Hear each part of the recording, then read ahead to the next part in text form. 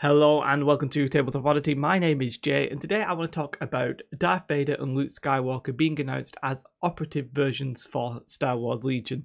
And obviously, you know, this is some pretty big news. I'm a little bit late with it than usual just because I was out last night, but you know, that's that's the way things go. Um, there's some really interesting stuff here, and what really gets me excited the most is the possible back changes for Vader and this new Vader being actually probably usable. I think Luke is perhaps uh, maybe not as good as the core set Luke, but we'll have a through we'll have a look through what everything is. Uh, we'll talk about what this means for both these operatives, uh, the future of, of, of, models getting like alternate versions, and you know the old models. So let's go through what was announced, and then we'll talk about you know what this might mean going forward. If at the end of this video you do like and subscribe, uh, do yeah, you know what I mean. just crack on, just crack on. So yes, so we're getting these now. The one interesting thing here right off the bat uh, these are two models of uh, two versions of units that we've already had. Obviously, we've had Lucas in the set as a commander, Darth Vader as set commander. These are operatives, right? So keep that in mind. Uh, they will take up a different slot. You're not going to be able to run two of them. You can't have double Luke, but obviously you can have. Uh, well, I was going to say you could have Luke and Sabine. You actually couldn't. You could have Luke, Leia, and Jyn, maybe some, you know, if you really wanted. Um, and the interesting thing straight off the bat is featuring new miniatures and command cards interchangeable with commander units found in the Star Wars Legion core set. I'm not 100% sure if the and there is appropriate. Um, it's featuring new miniatures, yes, and command cards interchangeable with uh, commander units. Hopefully, you can use these models as as like the commander versions. That would be pretty cool. The way that Luke is posed without having these giant lightsabers stick out over like nine foot or whatever it would be in real life. Yes, it sticks out a little bit, but people have poses. You know, he, he needs to have the lightsaber, so that's interesting. Having these commander cards um, usable by um, the commander versions of them rather than the operatives, that also gives interesting possibilities. And we've seen that with Darth Vader's 3 pip. Um, so we'll have a look at what cards you get. It's a way of getting force guidance. They're going to give you that straight off the bat. Um, Lucas himself, he's gone up to 200 points. Uh, I think he might be. I think this might be a little bit of an overbalance, but uh, there's just my hot take on the issue. Um, he's got jump one, charge, everything's the same there, deflect, disengage, which means if he's in unit in combat with just one unit, he can freely just move out of it. That's all right. Um, he's immune to pierce, and he's got master of the force. Um, and he can't take stims. He's lost the um, is it the gear slot, and he's got the train the commander one. Basically, he can't take stims. which is a nerf really to Luke and pretty much all of these guys. Like Vader can't take it, he can take training upgrades, which is interesting. Um, I say training upgrades, yeah, training upgrades. Um, he, he surges to a crit, which yeah, I think that was with the same as the last Luke. Um, seven wounds instead of six. Um, yeah, I like. There's nothing that interesting to say about him. He's essentially very, very similar. Um, he doesn't have a ranged weapon, so you know, saber throw might be interesting on him because there's no ranged on him as of right now. Um, his command card that we see here is uh, you gain surge to block, and um, it stops you attacking for that turn, and you can pick two units and stop them attacking for that turn. Um, somebody in my Discord was like, it's like a movie where everybody just has to stop and the hero protagonist moment, uh, which is pretty interesting. I think mainly you could use that with, I think I heard Ellis maybe talk about this briefly in his video. Uh, you could charge different units uh, and then stop other units attacking. And it just really that turn everybody does nothing on the uh, on your opposing side. That's a pretty interesting use of it. Um, all in all, I think like he looks good, but is he as good as the original one? Uh, like he's thirty points more, 60, 40 points more. Yikes! I, I mean, I'm not so sure about that. Uh, yeah, four courage instead of three. That's pretty good. Didn't realize that. That's pretty nice. Um, but yeah, it's a nice way of getting these surge tokens and the three suppression. At least you're going to be able to get them for them. Um, and that one card, the uh, well, we've already seen this, but you can see a full version of if you want it.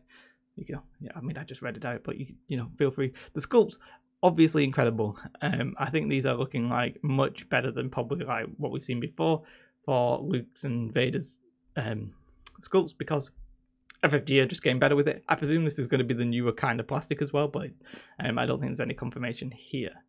Um, and then obviously we've got Vader. Now Vader for me is the most interesting part. By the way, we're unsure at the moment if you can actually use all six of the command cards for that person. So like, can Luke use all like his three old ones and his three new ones? We don't know. We don't know. What you can do though is use pick, take your pick out of the six. You can at least take a minimum of three.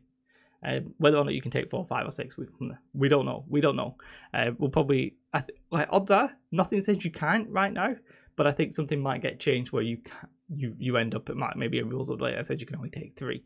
Um, but we'll see. It'd be nice if you could take all six. It would make like a Luke Leia list with all six command cards. Well, whatever command cards you wanted. In- interesting at least.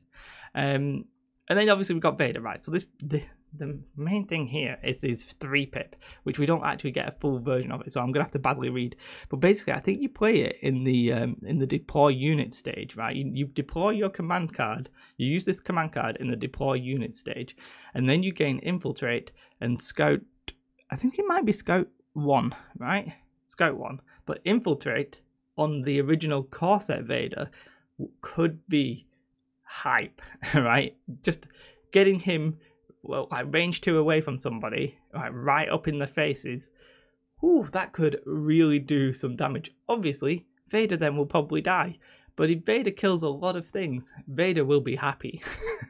so uh, yes, that is very interesting for the core set Vader. But this operative Vader, no slouch himself. I'm not gonna lie. Um, so that the the force the force uh, power that we get, uh, you gain demoralize one after you rally step. Um, an enemy unit at range one to two gains one suppression token. That's actually pretty nice for three points as a force power. You I could whack that on. Um, he only has two instead of three. He sort of has you know, he's got one less, but he's still got Master of the Force, which is good. Um, he's got Jedi Hunter. Uh, people are saying this is sort of, um, in a sense, with the Separatists and the Republic coming out, uh, maybe this is more in line, like more of a, a way of the Rebels and the Imperials dealing with that. Maybe, maybe they're sort of like syncing them up a little bit. Um, there's a couple of things about Vader. He's 170 points in this version. He's got two less wounds. He does take suppression instead of you know being immune to suppression. He has a ranged weapon by default, which I'm I'm like ooh, ooh, ooh. Um, which is blast and scatter. So blast means you ignore cover. Scatter is probably going to do one of two things. Either you'll throw it and then people move out of the way, or you'll throw it and it'll just go to the next unit. But I think it'll have a limit probably just once. I can't imagine it just scattering along the line because that would be OP. But um, yeah, we'll have to wait and see. Uh, so what do we say? He's got deflect, immune pierce, Jedi Hunter, so that's what I'm saying. It's, it's in line with the new rules like Grievous, etc. Uh, Master of the Force, Relentless, of course. So he's say similar-ish there. Um, but then he's also got Spur. So Spur lets you take a suppression token to increase your movement by one. Uh, so basically, you're going to have a movement to Vader, which is strong. so yeah, Vader's going to be speed two with uh, five red dice. He's lost a red dice. Uh, still impact three, PS three. But you could basically double. You can you have that two move, two move attack, which is strong as anything. So getting Vader into the right place now. Well, this Vader more possible uh, just because you can increase his movement. And that command card opens up the possibility of all Vader possibly getting slotted in. Now, a bit of me thinks that this new Vader is probably just more like, it's probably just better. Uh, the downside to him would be you would uh, certainly need a different commander because you wouldn't have a commander, you'd only have an operative. So, um, yeah, I because I mean you could take, but the thing is you could take this Vader and Veers, um, and it's what well, this is 80 points. That's 250 plus your upgrades, 280 maybe, which is a lot better in terms of like taking Vader and his upgrades, which was like 230. And then you probably didn't want to take anybody else because you'd already spent so much on Vader, and then he was then it was very hit and miss. Whereas this Vader is actually likely to do stuff. So, um, for sure, I think I mean the sculpt of it's all, all fantastic. I thought we might get the Star Wars Celebration sculpt to appease the people who uh, didn't get that me included. I'm sort of disappointed that I don't have it, but um, there you have it. And these are the in thing. Vader sculpt again. It's more dynamic, but it's a little bit. I mean, I I think I like Luke's better, but that's just me. But all in all, yeah, I'm. I think Vader's definitely interesting, the most interesting one here, just because he can enable old Vader, and he obviously he himself in this version very interesting as well. Uh, Luke, I think I think 200 points. I mean, unless I'm missing something from this Luke, maybe his command cards or something like that, um, I can't help but feel like the old Luke might be better. Yes, Master of the Force could be imperative. The fact that he can take, he can just get Force push every turn, could be pretty strong on Luke. Um, he's still got double move, jump, charge, so he's still nimble. He's got, um, he's still got. Is it? Oh, he's got seven black dice. He's got seven black dice. Seven black dice. I mean, unless I can't count, which is highly possible. I am quite tired. Uh, yeah. Ooh, ooh, ooh. Maybe changing my mind. I mean, it's good. Is it 40 points better? I'm not sure. I'm not sure. But um, this is very interesting for the future, right? So we've now got like alternate sculpts, alternate versions of models, which is really exciting. Um, obviously, I think the to come to a point where we need to see uh, like Yoda and all this kind of stuff.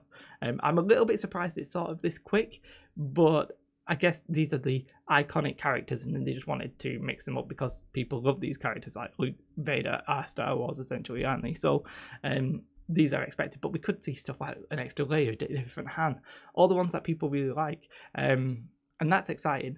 I, I, if the models are interchangeable, Luke could be slightly buffed in the competitive scene just by not having his lightsaber stick up, because it's much easier to hide a horizontal thing than it is to hide a vertical thing over like a barricade. Um, and Vader again getting mixed up here. Um, I think this will please some Vader fans, uh, me included. Um, we'll have to wait and see. But yeah, alternate sculpts for alternate mo- models, alternate versions of them, really cool. I think I sort of, I don't know if they've done it as an operative just to be really more unique, um, or or what? Or will we see alternate versions of commanders? Don't think it really matters too much uh, as long as they keep it interesting. Um, yeah, very exciting stuff. I'm off because I've run out of things to say. But yeah, I mean, I didn't expect this. The timing this is weird. Um, it was a little bit leaked as well, uh, but I wasn't around to make the video. The timing of this is, I, I think maybe they wanted to announce this at Gen Con and it got leaked, so they just made the article. Uh, who knows for sure? We're going to get a lot of stuff at Gen Con, and Gen Con's about two weeks away, so just keep that in, in mind. Well, I think we're going to get a lot of stuff at Gen Con. You never know, they might skip Gen Con this year for Star Wars Legion because, you know, we're getting the Clone Wars and stuff like that. But I suspect we'll just get Clone Wars stuff, and that'll be that.